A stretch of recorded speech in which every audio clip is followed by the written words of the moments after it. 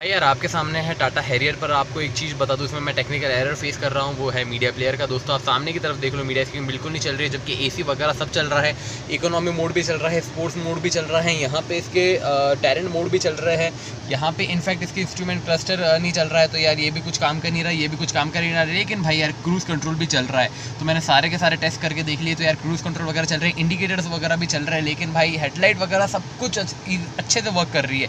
In fact wiper भी चल रहा है, देखो दोस्तों, आप सामने की साइड में आपको वाइपर भी चलता हुआ दिखेगा।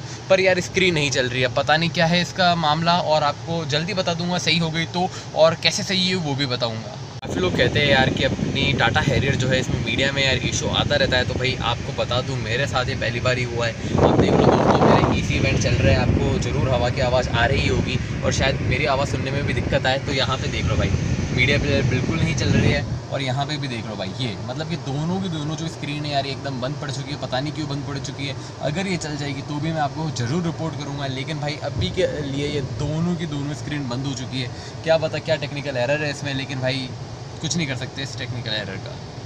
भाई यार, जैसे कि आपको पता है यार, ये वाली जो मेरी स्क्रीन है, पूरी की पूरी बंद हो चुकी थी और ये वाली जो स्क्रीन है, ये भी पूरी बंद हो चुकी थी। लेकिन भाई, अपने आप, ये दोनों की दोनों स्क्रीन जो है भाई, ये चल चुकी है। अब आप बोलोगे, भाई यार, ये कैसे हुआ? तो इसका मेरे को भी कुछ आइडिया नहीं है। जब दूसरी बार मैंने मेरी गाड़ी को चलाया तो अपने आप ये दोनों की दोनों जो स्क्रीन है यार, वो चल गई थी। इसमें कोई भी इशू नहीं आया। तो मतलब भाई यार, ये कोई एरर होगा इसके अंदर। मैं एक बार इसको सर्विस सेंटर ले जाऊँगा और इसमें क्योर कराऊँगा, यार भाई, क्या गड़बड़ है? क्योंकि इससे पहले भी मेरे साथ एक इशू हो चुका है। ये वाली जो आपको टीएफटी दिख रही है, ये बंद हो चुकी थी और ये अच्छे से वर्क कर रही थी।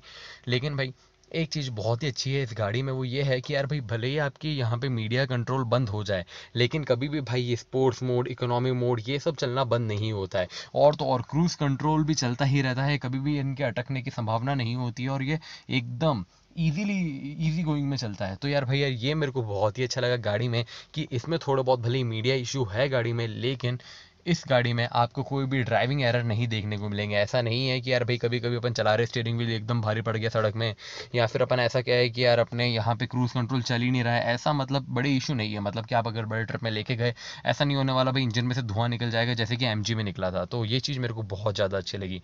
आपको ये वीडियो पसंद आई हो तो प्लीज़ इसको लाइक कर देना। अगर आप मेरे चैनल पर नए हो तो प्लीज़ सब्सक्राइब करें बिना कहीं मत जाना दोस्तों। और फिर मिल रहा हूँ मैं आपको अगले वीडियो में। तब तक के लिए बाय